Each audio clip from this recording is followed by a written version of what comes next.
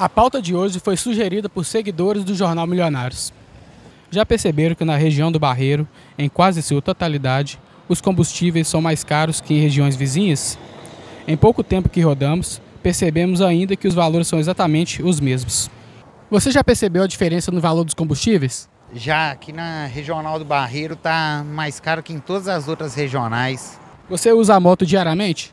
Diariamente trabalho com ela, então rodo nela o dia inteiro. Quais que são as suas soluções alternativas? É, eu abasteço em outras regionais, né? Ou então até mesmo aqui em Contagem, que é mais próximo, que já está com o preço do combustível normal, né, em relação ao barreiro. Você evita abastecer aqui? Sim. O que você acha que isso pode trazer de ruim para a região? Ah, não, não gera lucro para a região, né? Porque os preços aqui são muito altos. Pesquisando ao torno da região, você vê a diferença muito gritante em relação aqui na região do Barreiro? Muito gritante, diferença de 30 a 40 centavos. Na sua opinião, por que os preços aqui são mais altos que as demais regiões? Olha, na minha opinião, por falta de respeito mesmo dos comerciantes, né?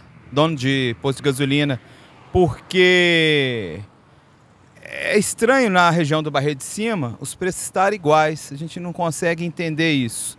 E é onde a gente poderia dar preferência aqui para o comércio local, até para o crescimento né, da região, né, para o dinheiro ficar aqui, eu acho estranho. A diferença está muito grande. E devido a altos preços de gasolina na região do Barreiro, viemos em Contagem para abastecer com preço bem mais em conta.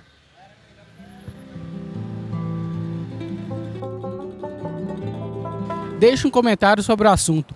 TV Jornal Milionários, do Barreiro para o Mundo.